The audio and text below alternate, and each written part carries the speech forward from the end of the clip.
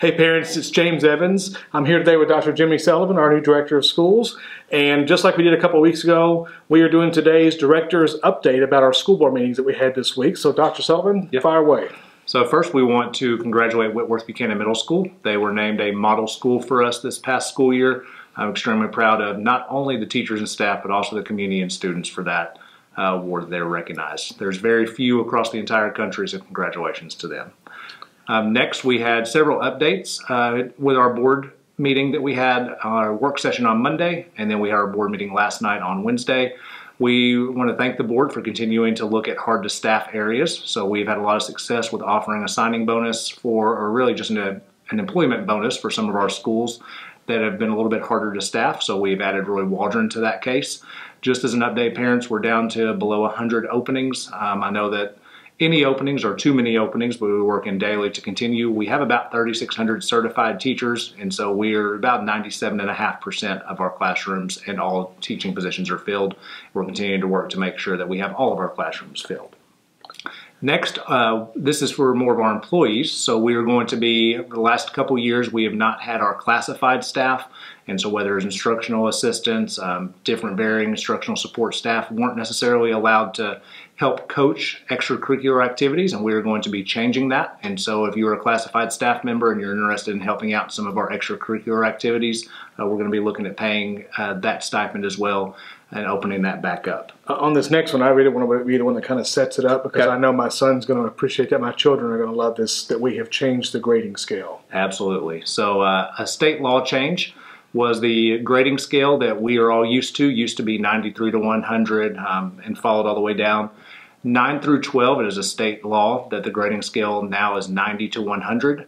For an A, we go from 80 to 89 for a B, 70 to 79 is a C, 60 to 69 is a D, and below a D or below a 60 is an F. Um, we are choosing as a school district to not just do 9 through 12. We want our parents to have the same grading scale no matter what grade level their student is in. And so we will have the grading scale in third through 12th grade um, on that modified 10 point scale. It matches what our colleges do, and it's really going to help set our students up for success. Uh, multiple states around us use that grading scale, so our kids were necessarily at a disadvantage when they were going for scholarships with students from other states. Again, yep. that'll be third through 12th grade. Kindergarten through second grade has a standards based report card, so they don't necessarily get numbers. And one reason the state uh, standardizes that is because of the HOPE scholarship, so that we're all on the same scale for high school, right? Absolutely. So that we our students have the same advantage across the state uh, and really in competing with other states as well. So we've also got some uh, changes that are going to take place this year because of devices, personal communication devices, usually cell phones or, or smart watches, things like that. They have been causing more and more of a distraction mm -hmm. in the classroom. So we think we've come up with something that parents and we even think students will understand right. kind of a happy medium there. Yep. Um, and just to kind of summarize, we have policy meetings. We have policy meetings about once every two months. We had a policy meeting last Monday, and what those policies do kind of set how we operate as a school district. One of those policy changes, Mr. Evans mentioned, was about personal communication devices and just devices in general we realized that going back to five years ago and saying don't bring your devices to school is not realistic, especially when we're looking at safety and communication with parents um, for their children.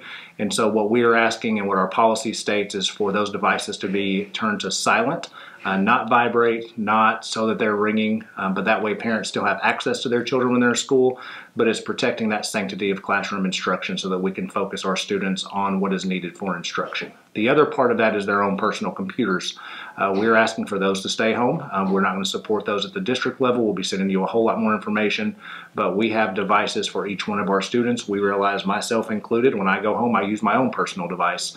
Um, but when I'm in an environment like a school setting, you know, we're going to use our school devices that are connected to all of our networks. And in the past, we've allowed those devices because we didn't have one-to-one, but we now have the ability to give everyone in middle school and high school their own computer device, yep. which will have our filters on it, will help protect students and also the uh, integrity of our network. Uh, and that so that there will be a computer. And we want to make sure the parents know this before tax-free weekend so you don't feel pressured that you need to run out and buy a computer. your student will be assigned one if they're in middle school or high school. Right, and that's something we're thankful to our school board for, for supporting that over the last couple years for us to be that one-to-one -one device.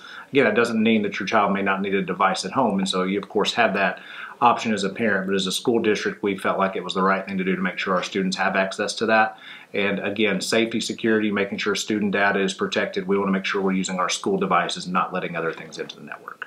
Okay, and then the last thing you wanted to talk about was yep. some of the instructional materials. And so there's been a lot of attention around instructional materials, and we'll be doing a whole parent series around um, instruction, around standards. We mentioned this last time on our last director's update, but we have several policies. So if you have instructional uh, materials, textbooks, as we talked about, are approved at the state level, and we have a local uh, committee that looks at those anytime we have an adoption. But we also know there's instructional materials outside of textbooks, and so if there's an issue, we will make. Uh, there's always been a policy for it, and now it just kind of revises and brings that policy to the forefront. Uh, if a parent has a complaint about an instructional material, that they have a policy and a procedure to bring that forth. We also the same thing with library books. There's been a lot of attention on that, um, and so that has a fine balance between uh, allowing students and parents to read what they need, but also making sure that it is grade level and age appropriate. And so we have a policy for that that we'll be giving you much more information about. But just wanted to highlight that those are things that are that are on the forefront of what we're looking at. Okay, and so we've got the first day of school coming up a week from tomorrow. Uh, so the first two-hour day is August 5th, and the first full day is that Monday, August uh, 8th. Is that right? Yes, August 8th. August 8th. Uh, we have been pushing out a ton of information to parents because this is that season where parents are, you know, doing the last minute things like back to school shopping and things like that. If you aren't getting those emails, check with your school, make sure they've got your email address. But we also have a back to school section on our district website, which has some of the common things you need, like bus routes, how to sign up for free and reduced lunch, school supplies, bell times, all those sorts of things. If you're missing something, either contact your school or give us a shout and we'll make sure you have that information. We'll continue to send things out over the next week and we're looking forward to the beginning of another great school year. Thanks for all that you do. Thank you.